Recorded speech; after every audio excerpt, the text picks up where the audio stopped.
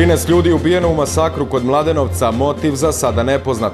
Predstavnici Srba sa severa Kosova jednoglasno dali podršku državnom vrhu Srbije. Eštonova žali zbog odluke Beograda. Premijer Dačić uputio zahtev Ujedinjenim nacijama da se srpskim državljanima osuđenima u Hagu omogući da zatvorske kazne služe u Srbiji. Gledate Telefakt. Ljubiša B. ubio je rano jutro s 13 ljudi, šest muškaraca, šest žena i dvogodišnjeg dečaka, a potom pokušao da ubije suprugu i sebe. Nezapamćeni masakr dogodio se u Velikoj Ivanči, blizu Mladenovca, ubica i njegova supruga su u kritičnom stanju u urgentnom centru. Motiv zločina za sada nije poznat. Prema dosadašnjim informacijama, Ljubiša B. je prvo ubio sina BB i pucao u svoju ženu JB, potom je izašao iz kuće i krenuo u smrtonosni pohod u kom je napravio masakar u četiri komšijske kuće u kojima su živele porodice Stekić, Despotović, Mijailović i Ješić. Na mesto zločina odmah je stigao direktor policije Milorad Veljović koji je izjavio da je 12 osoba umrlo na licu mesta, a jedna u urgentnom centru. Nama je prvi podatak javila njegova supruga koja se i sada bori za život u urgentnom centru. A pretpostavka je tako da je najpre ubio svog sina, 71. godište, a onda krenuo po kućama. Ubio i svoju majku, pucao svojoj ženi u glavu i dalje po ovim kućama u okruženju. Znači to su sve kuće, to sve u pitanju bliža rodbina. Veći masakar u Velikoj Ivanči sprečen je po dolasku policijske patrole jer je Ljubiša B. kada ih je ugledao pucao sebi u glavu. Ovakvu tragediju nikada nismo imali u Srbiji, zato treba utvrditi šta je ovog čoveka nateralo da na spavanju ubije ovoliko ljudi, rekao je Veljović. On je istakao da Ljubiša B. nije bio poznat policiji od ranije, da je učestvovao na ratištu 91. godine u Slavoniji i imao dozvolu za posjedovanje oružja od 1981. godine. Prema nekim informacijama, njegov stri stric i otac ranije su izvršili samoubistva. Komšije su rekle da je Ljubiša bio dobar domaćin, da se nije ponašao nasilno i nije pravio probleme. Kako navode, juče je bio sasvim normalan, a onda mu je tokom noći nešto kvrcnulo u glavi. Nikada se ne zna kada će ratne traume izaći na površinu, kaže klinički psiholog Vojnomedicinske akademije Vlajko Panović povodom masovnog ubistva kod Mladenovca i dodaje da mnogi naši ratnici nisu na adekvatan način zbrinuti, tako da je moguće očekivati da se dešavaju takve stvari. Imali smo slučajeve da posle 30 godina pri otvaranju šampanjca čoveka to podsjeti na pucnjavu, što pokreće lanac asocijacija koji može dovesti do nečega što nije dobro za njega ili okolinu, rekao je Panović. Sa druge strane, direktor specijalne bolnice za psihijatrijske bolesti dr. Laza Lazarević, profesor dr. Milutin Nenadović, isključuje mogućnost da je reč o ratnom takozvanom vijetnamskom sindromu, već da se najverovatnije radi o poremećaju strukture ličnosti. Povodom odluke Srpskog državnog vrha da papir ponuđen u Briselu neće prihvatiti i da traži hitan nastavak dijaloga Beograda i Prištine, visoka predstavnica Evropske unije Catherine Ashton oglasila se saopštenjem u kojem se kaže da veruje da su nakon nekoliko rundi pregovora svi elementi sporozuma o severu Kosova na stolu i da nije na Evropskoj uniji da ga nameće. Žalim zbog odluke srpske vlade da ga odbije i pozivam ih da učine poslednji napor da se sporazum postigne na dobrobit njihovih građana, poručila je Catherine Ashton u saopštenju koje je prenela njena portparolka Maja Kocijančić. Srbija je spremna da ispuni odluke iz zaključaka Evropskog saveta kao i na nastavak dijaloga sa Prištinom, ali nikada neće prihvatiti sobstveno ukidanje, rekao je prvi potpredsednik vlade Aleksandar Vučić. On je u razgovoru sa potpredsednikom vlade i ministrom spoljnih poslova Kraljevine Belgije Didierom Reindersom istakao da je neophodno poboljšati ekonomsku saradnju dve zemlje uz što veće prisustvo belgijskih kompanija na srpskom tržištu. Tokom razgovora Reinders je naveo da njegova zemlja u potpunosti podržava da Srbija što pre dobije datum za početak pregovora o članstvu u Evropskoj uniji i istakao svoju sigurnost da Beograd može da reši probleme sa Prištinom.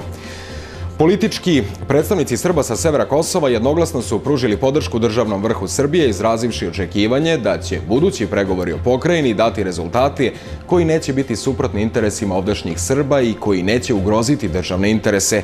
Na zadničkoj konferenciji za novinare u Kosovskoj Mitrovici predstavnici političkih partija koje deluju na severu Kosova pozdravili su odluku vlade Srbije da zatraži da se dijalog nastavi i pronađe održivo rešenje za Kosovo i ocenili da ovakva odluka državnog vrha predstavlja ne ucenama, uslovljavanjima i pretnjama iz Brisela.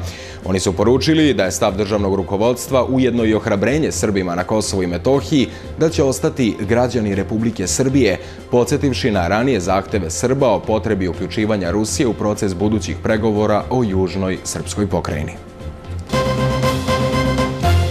Premijer Ivica Dačić uputio je zahtev generalnom sekretaru Ujedinjenih nacija Ban Ki-moonu da omogući da srpski državljani osuđeni pred Međunarodnim krivičnim sudom za bivšu Jugoslaviju u Hagu služe zatvorske kazne u Srbiji. U pismu Banu Dačić navodi da je Srbija spremna da osigura potpunu bezbednost lokacija na kojima bi osuđenici služili zatvorske kazne, Srbija je spremna da prihvati međunarodni monitoring sprovođenja kazni i ponudi čvrste garancije da osuđenima neće biti odobreno moguće prevremeno oslobađanje bez relevantne odluke tribunala, navodi se u saopštenju Kancelarije vlade Srbije za saradnju sa medijima. Predsednik Srbije Tomislav Nikolić otputovo je u Njujork, gde će u sredu 10. aprila govoriti na debati pri Generalnoj skupštini Ujedinjenih nacija na temu uloga Međunarodnog krivičnog pravosuđa u ostvarivanju pomirenja koju je zakazao predsednik Generalne skupštine Ujedinjenih nacija Vuk Jeremić. Predsednik Nikolić izložit će jedan ozbiljan referat, ozbiljnu analizu na 42 strane koja će ostati u arhivama Ujedinjenih nacija i kojim će se dokazati da proces koji je prethodio formiranju i formiranje Haškog tribunala nisu u skladu s pravom, najavio je savjetnik predsednika Srbije Oliver Antić. Kako je saopštila preslužba predsednika, Nikolić će tokom boravka u Njujorku imati bilateralne sastanke sa generalnim sekretarom Ujedinjenih nacija Ban Ki-moonom, kao i sa predsedavajućim predsedništva Bosne i Hercegovine Nebojšom Radmanovićem. Predsednik vlade Srbije Ivica Dačić boravit će 10. i 11. aprila u posjeti Moskvi, tokom koje će razgovarati sa predsednikom Rusije Vladimirom Putinom, premijerom Dmitrijem Medvedevim i drugim visokim ruskim zvaničnicima, a bit će potpisano i više bilateralnih sporazuma. Kako je ranije saopšteno iz vlade Rusije, Dačić i Medvedev će razmotriti ključna pitanja bilateralne saradnje u trgovinsko, ekonomskoj, energetskoj, investicionoj, humanitarnoj, kulturnoj i drugim oblastima. Putinov pomoćnik Jurij Ušakov rekao je da Dačićeva poseta, usaglašena početkom februara, nema direktne veze sa rezultatima razgovora o pitanju Kosova u Briselu. Predsednik Republike Srpske Milorad Dodik pojavio se kao svedok odbrane u postupku protiv Radovana Karadžića u Haškom tribunalu, optuživši Aliju Izetbegovića i stranku demokratske akcije za sukobe u Bosni i Hercegovini. Dodik je izjavio da nije primetio da je Karadžić imao namere koje mu se stavljaju na teret, da se trajno ukloni nesrpsko stanovništvo sa područja Bosne i Hercegovine na koje su Srbi polagali pravo. Nikada ni na jednoj sednici Skupštine vas nisam čuo da ste tražili tako nešto, da ste uključeni u takve poduhvate, naročito ne u zločinačke, rekao je Dodik. Predsednik Republike Srpske istakao je i da je Izetbegović taj koji je predano radio na primjeni ranije napisane islamske deklaracije i na uvođenju šerijata na tom prostoru, zbog čega je i odgovarao u bivšoj Jugoslaviji. A suđenje generalu Ratko Mladiću u Haškom tribunalu odloženo je na neodređeno vreme zbog zdravstvenog stanja optuženog. Predsedavajući sudija Alfons Ori saopštio je da je već obavešteno da je glavni lekar pritvorske jedinice Paulus Falke pregledao Mladića i utvrdio da ima simptoma koji su očigledni i da se optuženi ne osjeća dovoljno dobro da bude u sudnici. Direktor Ruske federalne službe za borbu protiv trgovine narkoticima Viktor Ivanov izjavio je da je Kosovo glavni tranzitni put za opojne droge iz Afganistana za Evropu i da preko Kosova godišnje prođe 60 tona heroina vrednog više od 3 milijarde evra.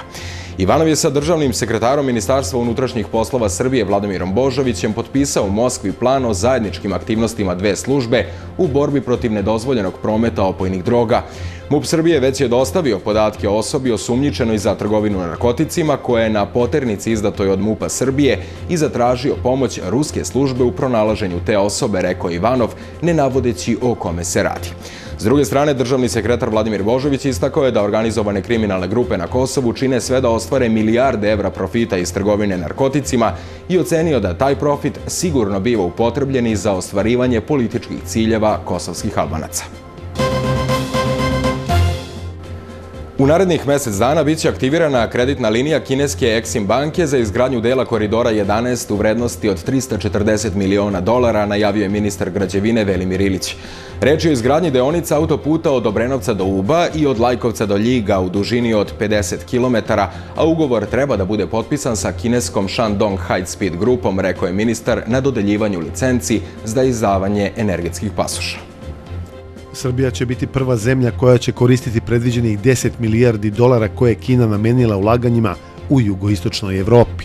Ističe ministar i dodaje da je Ministarstvo građevine predalo svu dokumentaciju Exim banci i da sada treba otkloniti proceduralnu smetnju s obzirom da Srbija u budžetu za ovu godinu nije predvidela inicijalna sredstva za korišćenje kineskog kredita. Guverner te kineske provincije najavio je dolazak u Srbiju 20. ja mislim 25. ovog meseca. On želi da ta njihova e, oblast nastavi jednu saradnju sa Srbijom i zahvalan je na poslu koji je dobio na tenderu koji je objavljen. Učešće kineske kompanije u tom projektu iznosit će, kako je ranije najavljeno, 51%, a srpskih preduzeća 49%, s tim što će ukupno angažovanje radne snage iz Srbije na tom projektu biti oko 70%, jer će kineska kompanija angažovati i deo naše radne snage. Mi smo dali sve, sad ide aplikacija i naravno posle toga treba da se to reguliše oko izgradnje odmah. Ja očekujem veoma brzo, ali Srbija ima jedan veliki problem što u budžetu nije predvidela ona polazna sredstva koja smo po kreditu obavezni da damo, pa sada financije pregovaraju sa bankom da nam daju bez tog našeg prvog ulaganja koje bi trebali da ispunimo. Ministarstvo građevine najavljuje i da će se deonica koridora 11 od Preljine do Požege kao i deonica Beograd-Obrenovac graditi putem koncesije. Deo autoputa od Ljiga do Preljine već gradi azerbejdžanska firma Azvirt sa domaćim građevinskim preduzećima koja samostalno grade i deonicu od Uba do Lajkovca. Predsednik Skupštine grada Jagodine Dragan Marković Palma dogovorio je sa menadžmentom Alfa Univerziteta iz Beograda otvaranje nekoliko njihovih fakulteta u ovom gradu. Očekujem da fakultet Alfa Univerziteta u Jagodini upiše veliki broj studenta, pre svega zato što univerzitet ima tradiciju, a Jagodina ima nešto što drugi gradovi nemaju, rekao je Marković na konferenciji za novinare. Kancelarija Alfa Univerziteta u Jagodini, gde će studenti moći da dobiju sve potrebne informacije vezano za upis u novu školsku godinu, biće otvorena već sutra. Kako istakao Dragan Marković Palma, ovakvim gestom Jagodina potvrđuje da je univerzitetski grad u kome će se studenti osjećati kao kod svoje kuće. Imaćemo nekoliko smerova. Taj fakultet, siguran sam, neće biti konkurencija onim fakultetima koji već rade ovde u Jagodini, jer ti fakulteti nemaju ove smerove koji će biti u ponudi u ovoj školskoj godini. E, tako da očekujemo veliki broj studenta, polaznika da upiše ovaj fakultet iz više razloga. Prvo što fakultet ima tradiciju i Jagodina kao grad gde će studirati drugi studenti iz drugih gradova ima nešto u ponudi što nemaju drugi gradovi. Na kraju da vam se zahvalim, a posebno dve dame koje nose prezime Karić, čerka Bogoljuba Karića i sestra Bogoljuba Karića, da se zahvalim što ste izabrali baš Jagodinu, da otvorite vaš cenjeni fakultet u ovom gradu, da poželim puno sreće i vama kao e, vlasnicima i osnivača fakulteta i nama kao e, ljudima koji vodimo ovaj grad. Šef promotivnog tima Alfa univerziteta Slađana Mamić ocenila je da Jagodini najviše odgovara Fakultet informacijonih tehnologija. Alfa univerzitet je prvi privatni univerzitet u našoj zemlji koji ove godine obeležava 20 godina rada. Ima sedam akreditovanih fakulteta, preko 20.000 diplomiranih studenta, rekla je Mamić. Ona je dodala da se u odnosu na druge razlikuju po studiranju na daljinu, koje je počelo pre nekoliko godina i da se neki koji su završili pojedine fakultete danas nalaze na visokim funkcijama u privredi, bankarstvu, kulturi i prosveti. Ovaj slogan uvek prvi obezbeđujemo i time što smo se ove godine potrudili da svakom novoupisanom studentu poklonimo jedan ovakav tablet računar koji će prosto omogućiti lakše studiranje njima, lakšu komunikaciju sa profesorima, sa uh, nastavom i tome slično. Treba reći ovde da podrška, podrška ovaj, upisnoj kampanji ide i u tom pravcu da će se ovaj, raditi određene akcije. To je isto interesantno za, za potencijalne studente vaše. Znači, akcije će biti tipa uh, 10 studenta, 11 gratis upisanih. Onda E, normalno za Jagodinu će to biti još bolje. Onda, porodični popust. Brat i sestra, pazite sad, dođu za 111.000 dinara, imaju 30% popust Znači dođu vesi o nekom cifru od 1400, 140.000 dinara, zajedno studiraju, imaju dva tablet uređaja, znači malte ne jedan za dva. Po, je, po ceni jednoj studiraju dvoje. Trenutno nam je tu Janko Tipsarević na master studijama, imamo Novicu Veličkovića, Bogdan Obradović kao selektor Devijskog reprezentacije. Tu nam je od onih svršenih, tu nam je Danilo Ikodinović, on je bio jedan od naših e, studenta, Ćirić, tu su vaterpolisti, skoro cela reprezentacija, od Pjetovića, braće, Živko Gocića, i to je ono čime se mi zaista ponosimo. Otvaranje fakulteta Alfa univerziteta u Jagodini pozdravio je i načelnik školske uprave za Pomoravski okrug Života Starčević, ocenivši da će ova ustanova unaprediti visoko školstvo u Jagodini. Sastanku kod predsednika opštine kao i konferenciji za novinare prisustvovale su i Olivera Karić-Nedeljković i Danica Karić, članice Saveta univerziteta, ali i porodice Karić koja ga je osnovala. Na Fakultetu menadžmenta u sportu Alfa Beka univerziteta održana je tribina na temu obrazovanje, sport i duhovnost, na koje je gost bio naš proslavljeni futbalski reprezentativac Matija Kešman. Pričajući o svom bogatom iskustvu, Kežman je savjetovao buduće menadžere da u poslu predstavljanja sportiste pre svega pronađu sebe kroz veru, jer jedino to predstavlja put uspeha.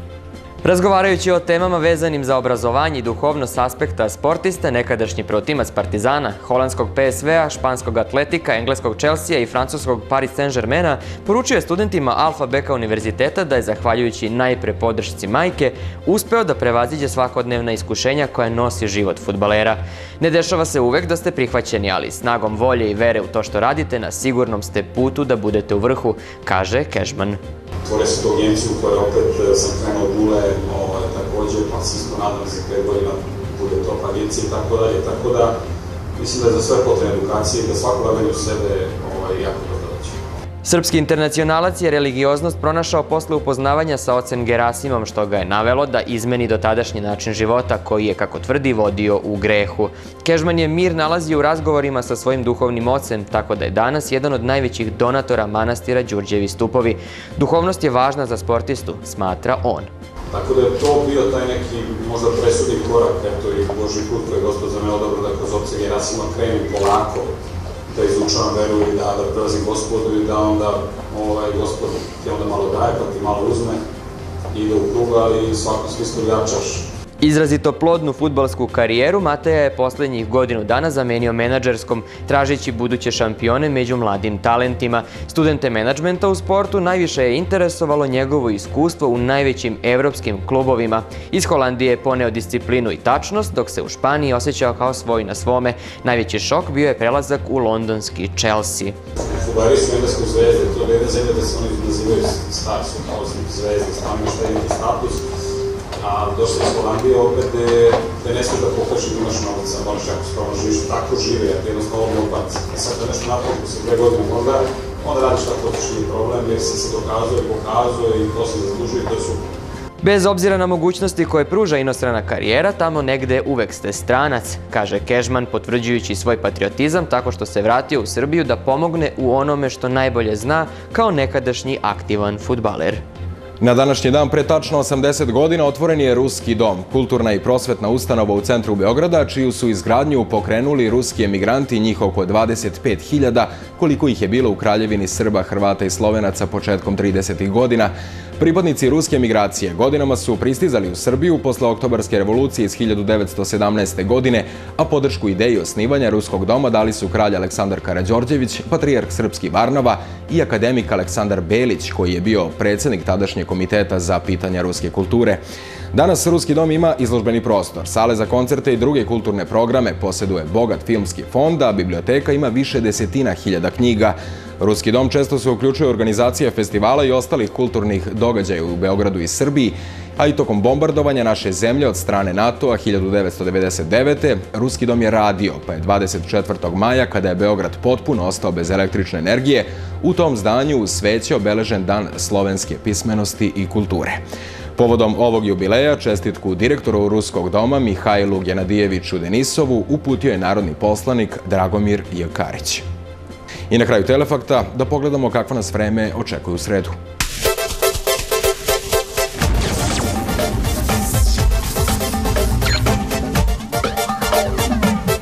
U sredu u Srbiji umereno do potpuno oblačno sa kišom, pljuskovima i grmljavinom. Vetar slab do umeren jugozapadnih minimalna temperatura od 3 do 9, maksimalna dnevna od 14 do 19 stepeni. U sredu u Beogradu umereno do potpuno oblačno sa kišom, pljuskovima i grmljavinom. Minimalna temperatura biće 8, maksimalna dnevna 17 stepeni. Gledali ste Telefakt u ime ekipe koja je realizovala ovaj program. Želim vam ugodnu noć.